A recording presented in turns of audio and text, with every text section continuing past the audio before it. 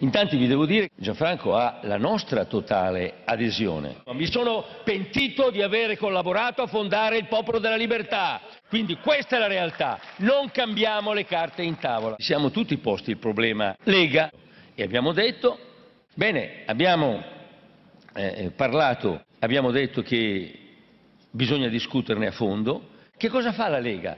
Allora parliamoci chiaro tutti gli uomini della Lega ogni settimana che hanno fatto la vacanza. Forse dobbiamo essere un po' più cattivi noi stessi, dobbiamo impegnarci a fare la vacanza e questa è una decisione che assumeremo tutti insieme.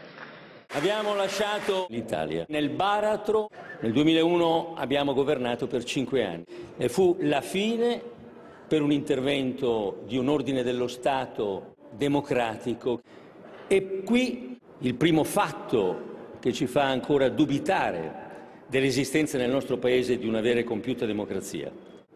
E ci troviamo quindi di fronte alla necessità di cambiare l'architettura istituzionale, istituzionale del Paese per diventare veramente tutto meno che democratici.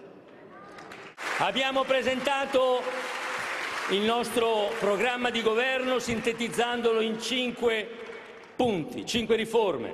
Chiacchiere, chiacchiere, chiacchiere, chiacchiere e infine la riforma della giustizia. Qualcuno ha detto stoltamente in questi giorni che noi vogliamo fare una riforma per i giudici onesti e per i cittadini.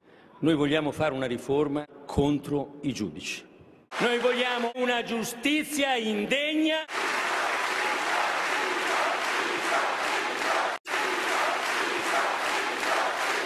E quando l'altra sera, quando l'altra sera, a mezzanotte, sono stato attratto da un'ammocchiata e naturalmente mi sono sentito in dovere di doverli raggiungere. E invece c'erano un centinaio di giovani del Popolo della Libertà che avevano scritto in lettere d'oro Berlusconi a casa.